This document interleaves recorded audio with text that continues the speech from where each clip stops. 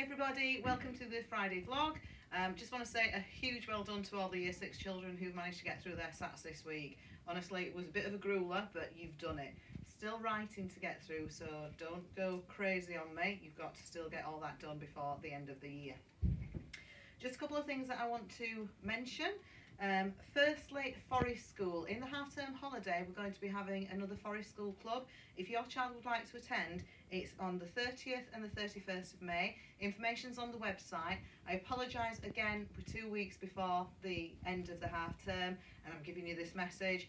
If you can look at that, and if your child is interested, get in touch with them and book them on for those sessions.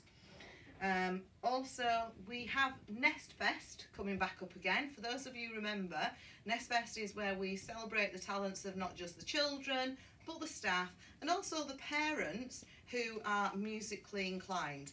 If you are a parent out there who has got a hidden musical talent, if you would like to perform either solo, duet, or as a band, please contact the Academy and speak to Mrs. Wilcox we're going to be doing open rehearsals for people on Friday straight after school. So if you've got an interest on being a performer, just let us know and we'll get something sorted.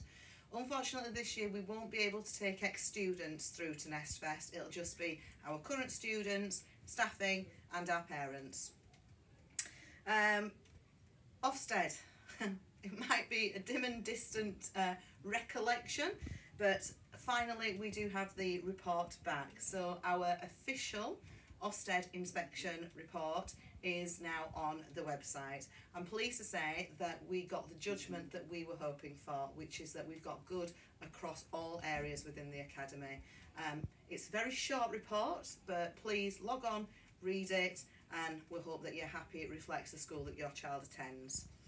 Finally, this weekend is Eurovision and I'm playing a bit of a Where's Wally because there will be a member of our Academy staff somewhere in Eurovision.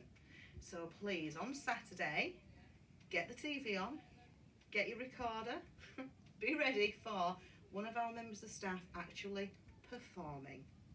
Have a great weekend everybody. See you on Monday. Bye.